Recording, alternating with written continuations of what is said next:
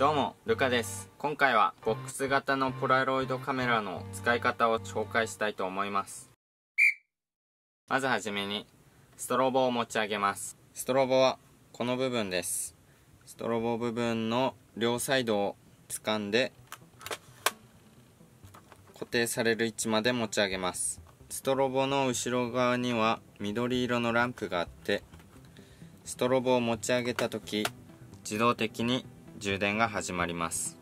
少し見づらいですが緑色のランプの点滅が終わり点灯に変われば撮影準備が完了です。ストロボの充電はカメラにフィルムが入った状態でストロボを持ち上げた時以外にも写真を撮影した時。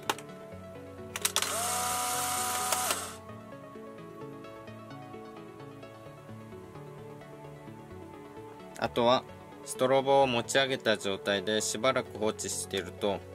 ストロボが切れます。このような時はシャッターボタンの1段階だけですね。押してあげると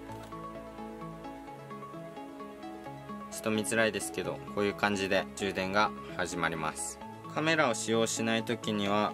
レンズを保護するのとシャッターボタンをロックするためにストロボは閉じておきましょう。閉じる時は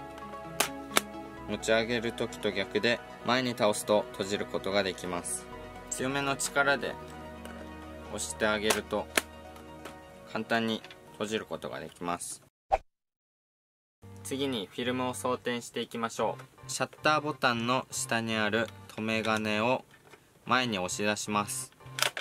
そうするとフィルム挿入口が開きます。そしてフィルム挿入口にはこのような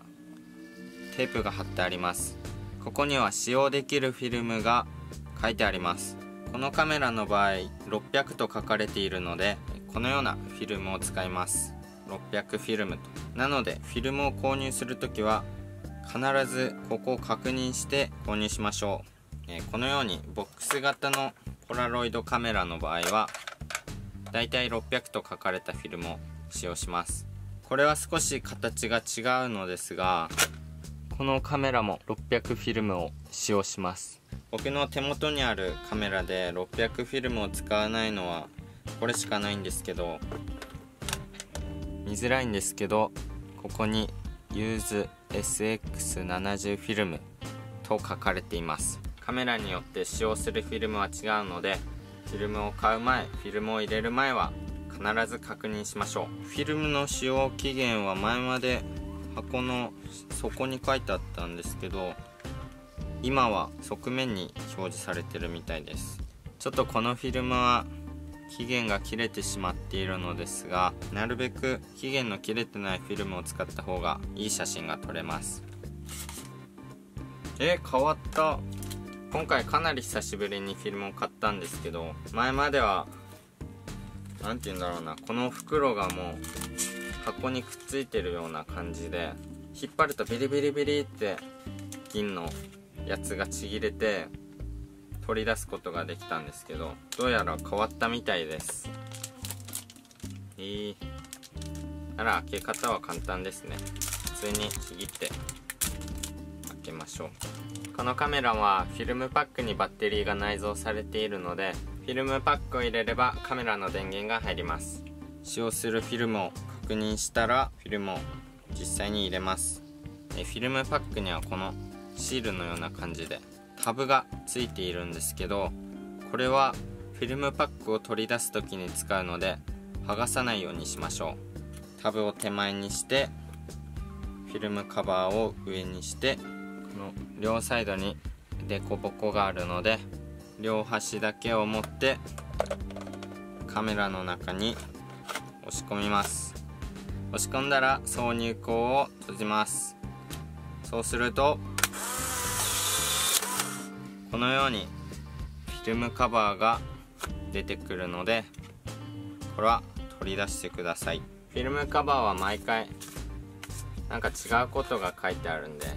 これもポラロイドカメラの楽しいところの一つだと思います。カラフィルムを取り出す時には留め金を前に出して先ほど言ったようにフィルムパックのタブを引き出して取ることができます。フィルムパックを新しく入れてフィルム挿入口を閉めた時は自動的にフィルムカバーが送り出される動作が起こってしまうのでフィルムパックが空になってる時以外はフィルムを出さないようにしましょう。フィルム残量がある時に一度抜いてしまって入れてしまうとフィルムが1枚無駄になってしまうんでそこは注意しましょう。次は写真の撮り方を説明します。カメラを持つ時は左手の手のひらに乗せます。そして右手の親指はシャッターボタンの指当てに置いて人差し指をシャッターボタンに置きます。他の指は邪魔にならないように丸めておくといいと思います。もう一つの持ち方は左手の指でカメラの上下を掴んで右手は同じようにします。写真を撮るとこの部分からフィルムが出てくるのでこのように手で塞いでしまうとフィルムがうまく出てこれなくなってしまうので持ち方は手のひらに置く方法か上下をつかむ方法のどちらかがいいと思います。撮影するときはカメラの後ろにあるファインダーを除いて構図を決めましょう。レンズは2種類あって 1.2m から無制限のレンズと横にスライドすると 0.6m から 1.2m の距離の近接撮影用レンズがあります。距離によって使い分けるといいでしょう。近接撮影用レンズを使う時は人の顔が楕円形のフレームに収まる距離で使うのがベストだと思います。近接用撮影レンズを元に戻したい時はスライドするのではなくここをちょっと押すだけで勝手に戻ってくれます。レンズの下には明暗コントロールがあって明るい写真が撮りたい時は白い矢印の方に。暗い写真が撮りたい時は黒い矢印の方につまみを動かしましょう。撮影が終わった時はつまみを元の位置に戻すようにしましょう。写真を撮る時はファインダーを除いてシャッターボタンを押します。シャッターボタンは2段階に分かれていて2つ同時に押すとフラッシュがついて1つだけ押した場合はフラッシュがつかずにシャッターが切れます。状況によって使い分けていきましょう。写真を撮ったらフィルムが自動的に出てくるんですけど光が当たらないようにカバーしてあげましょう。カメラから引き出した後も直射日光の当たらないところで保管しましょう。撮影してから20分ぐらい経つと徐々に浮き上がってきます。映画とかゲームとかでフィルムを振っているのを見たことあるかもしれないんですけど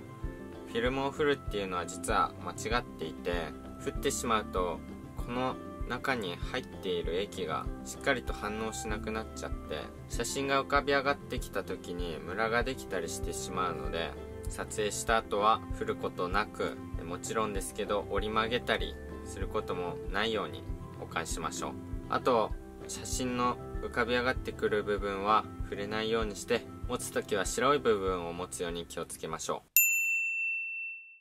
フィルムはこのローラーを通って外側に出てくるんですけどこのローラーが汚れてると出てくる写真が綺麗に写らなかったりしてしまうのでローラーの汚れは湿ったホコリの出ない布で落とすようにしてください。写真を撮るときはフィルム残量にも注意しましょう。カメラの後ろ側にはフィルムカウンターがあって写真を撮影するたびにここの数字が少なくなっていきます。でも一つ注意しなきゃいけないことがあって新しくフィルムを入れた時はここに10と表示されるんですけど今のフィルムパックは1パックにつき8枚のフィルムが入っています。フィルムカウンターの数字が2になった時点でフィルムが切れてしまいます。ここの数字が0になっていなくてもフィルムの残量は0になっているのでまだ写真が撮れるぞと勘違いしないように気をつけましょう。以上でボックス型ポラロイドカメラの使い方の紹介は終わりです。チャンネル登録高評価コメントぜひお待ちしております。カメラについて気になることがあれば気軽にコメントしてくれると嬉しいです。ご視聴ありがとうございました。また次回お会いいたしましょう。バイバイ。